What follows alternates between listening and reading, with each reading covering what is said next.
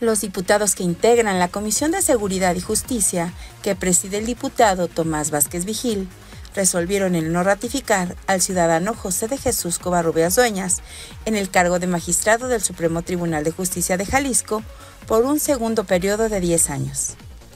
Cabe destacar que tras la resolución legislativa se deberá lanzar una nueva convocatoria para que se ocupe dicho espacio del Poder Judicial. Informó para ustedes Diosabet Sánchez.